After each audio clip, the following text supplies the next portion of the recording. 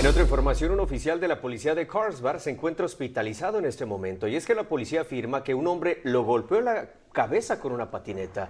Este incidente ocurrió en la calle Carlsbad Village Drive debajo de la autopista 5 el pasado viernes.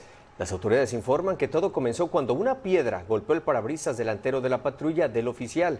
El uniformado posteriormente se detuvo para inspeccionar los daños y fue ahí cuando, según las autoridades, el sospechoso lo golpeó en la cabeza con la patineta. El oficial herido disparó tres veces, pero el sospechoso no recibió impacto de las balas. Más tarde fue detenido a pocas cuadras y ha sido identificado como Kyle McCord, de 32 años de edad.